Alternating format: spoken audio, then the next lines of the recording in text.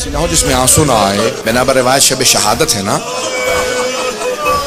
इमाम कितने मजलूम हैं मैं एक दरख्वास्त करूँगा कोई आँख ऐसी ना हो जिसमें आँसू ना आए अभी ताबूत ना लेके आइएगा मैं कम अज़ कम भी पाँच दस मिनट से ज़्यादा मसाए पढ़ूँगा मेरे दरख्वास्त है ज़रा एक मरतबा तस्वुर की जगह जुमले पे कहा देखो वास्ता क्या दिया था परवरदिगारा मेरी मजलूमियत का वास्ता आपने कभी इमाम के लकब पे गौर किया इमाम का लकब क्या है इमाम का लकब है गरीबुल गुरबा अब वो खुद बता रहे हैं देखो मैं कितना मजलूम हूँ। मैं कितना मैं मैं गरीब हूँ गरीब गुरबा। जो वतन से दूर होता ना, उसे गरीब कहते हैं। मदीने से सबसे ज़्यादा दूर इमाम रज़ा है। अमीरमिन के पास भी हज़रत आदम है, हज़रत नू है। अम्बिया दफन है ना मौला की बारगाह में। इमाम हुसैन के पास भी हज़रत अली अकबर हैं।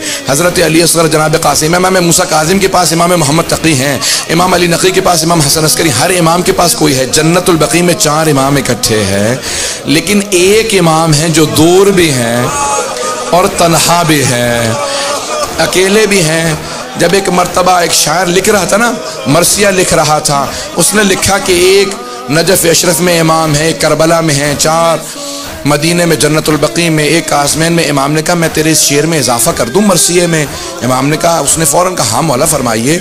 इमाम ने कहा वक़ब्रम बेतूसन, या लहा में मुसीबा। का एक कब्र तूस में है जो बड़े मसायब के साथ है। वो तब तक तनहा रहेगा जब तक मेहदी का जहूर नहीं हो जाता। कम मौला, ये मैं तूस की कौन सी कब्र है मैं जानता नहीं हूँ। इमाम ने कहा, ये भी बनी नहीं है, वहाँ मेरा रोज़ा होगा। वहाँ मेरा रोज़ा होगा।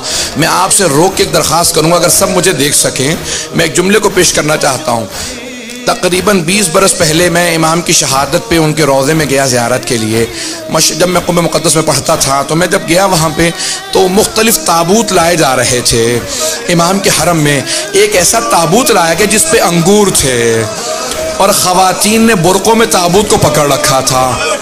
कुछ मर्द हिफाजत के लिए थे, उस पर इतनी रिक्कत थी कि मेरी कैफियत बदल गई, मैं मुनकलब सा हो गया। मैं आगे बढ़ के मर्दों से पूछने लगा, ये खातन ताबूत क्यों लाई हैं? कहा, आप सैयद हैं, आपने ये रिवायत नहीं देखी, एक ऐसी रिवायत है ना, इमाम का ताबूत खातन ने उठाया था। भाई, इमाम के सारे भाई मदीने में, एक बेटा मदीने में, का इमाम से ज़्यादा मजलूमियत किसी की नहीं। जो शिया खातन थी, वो एक मरतबा ताबूत लेके चली। मैं आज पेश करूँगा, आज पेश करूँगा। सुनेंगे अब अगर अल्फाज को सुने। मामून ने एक मरतबा इमाम को दावत दी अपने महल में। जब इमाम जाने लगे थे ना तो ख्वाजा अबा सलते हिरवी बैठे थे करीब में। ख्वाजा ने पूछा, मौला, क्या बात है? आप इस शराब में हैं? कहा, ख्वाजा, अब अगर मैं आऊँ ना और मेरे चेहरे पर रुमाल हो तो समझ लेना मुझे जहर दे दिया गया है। मैं अगर खून की तय कर रहूँगा तो रुमाल रख के आऊँगा, मुझसे कलाम ना करना। उस वक्त मेरे सीने में बहुत तकलीफ़ होगी, मेरा कलेजा कट रहा होगा। कहा, मौला, आपकी क्या कैफियत होगी? कभी मुझे जहर देने वाला है। कहा मौला आपकी वसीयत क्या है? गसलो कफन कौन करेगा मासूम का गसलो कफन सिर्फ़ मासूम कर सकता है। कहा मौला, लेकिन आपका बेटा तो मोहम्मद सलाम मदीने में है। इमाम ने कहा कि नहीं, वो हजत खुदा है। यहाँ पे मेरी शहादत होगी, वहाँ मेरा बेटा आ जाएगा। जब मेरा बेटा आए ना तो कहना, बाप ने बहुत याद किया था। ख्वाजा बसलते हिरवी रोने लगे। आँखों में आँसू आए। कहा, मौला, आपके साहबजादे आएँगे, कहा मेरा बेटा आएगा। उसे मेरा सलाम कह देना। कहना, बाप ने बहुत याद किया। मैं एक रोक के आपको बात हो एक रोक की जुमला कहूँगा। हर बाप को हसरत होती है। जब मेरा आखिरी वक्त हो ना, मेरा सर मेरे बेटे के जानों पे हो। मेरा बेटा मुझे प्यार कर रहा हो, मैं दुनिया से जाऊँ। अब मैं दो इमामों की कैफियत पेश करूँ। एक इमाम हुसैन इबन अली है।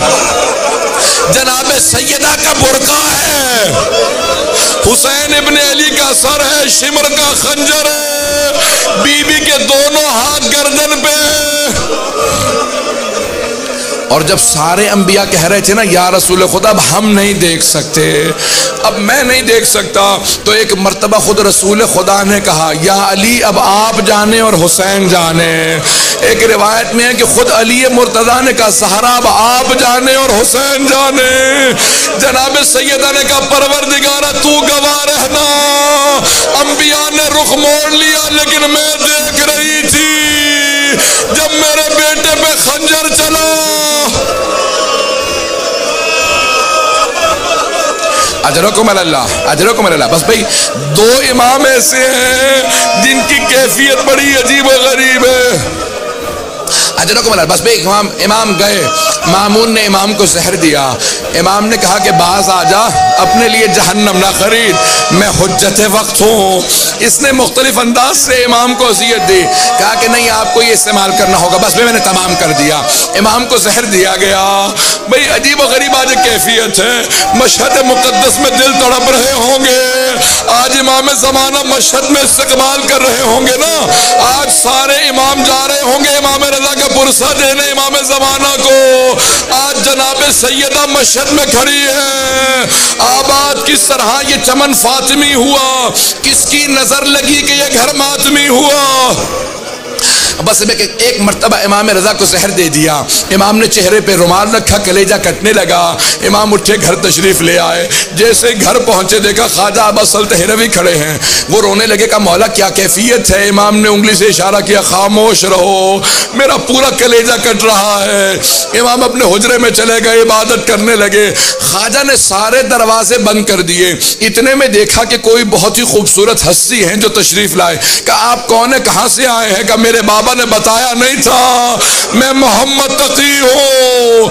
मैं मदीने से आया हूँ अपने बाबा को आखिरी लहरे में।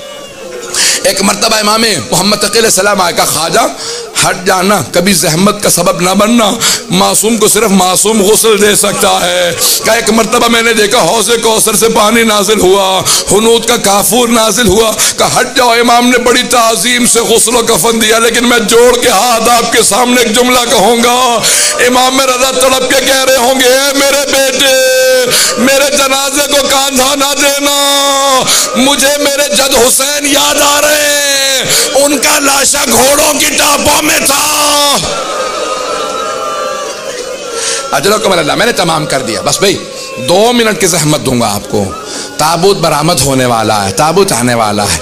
आप जब सब आज पुरसा दीजिएगा ना तो आज दो हस्तियों को पुरसा देना है ना आपने। जनाब सैदा को और इमाम ज़माना को मैं आपसे हाथ जोड़ के दरखास्त करूँगा। आज एक और बीबी को पुरसा दीजिएगा। उस बीबी का नाम है मासूम कौम। वो बीबी मदीने से चली बड़ी हसरत लेके। मुझे भाई से मिलना है। बीबी, आप भी जनाब जैनब की तरह भाई की मोहब्बत में सफ़र कर रही है।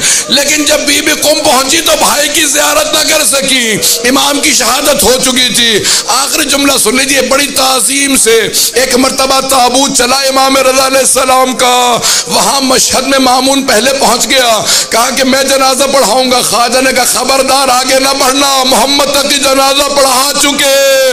कहा, वो कैसे आ गए थे? का तेरा मतलब नहीं है का खबरदार पीछे हट जा। जब कबर को तैयार किया तो एक मरतबा फावड़ा ज़मीन पे मारा कबर पहले से तैयार थी, जहाँ पे आज रोजा है। का इमाम रजा अपनी शहादत के बाद भी मौजात दिखा रहे हैं? का पूरी खबर तैयार थी? जैसे मुस्तहबात हैं। का यहाँ पे किस तरह से इतना अहतमाम किया गया?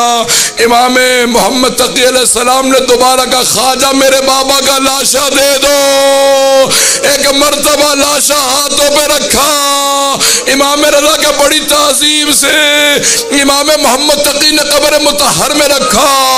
लेकिन मैं कहूँगा, मौला है इमाम मोहम्मद तकी, जरा करबला में आके देखे। इमाम सज्जाद अपने बाबा के आजा को जमा कर रहे हैं।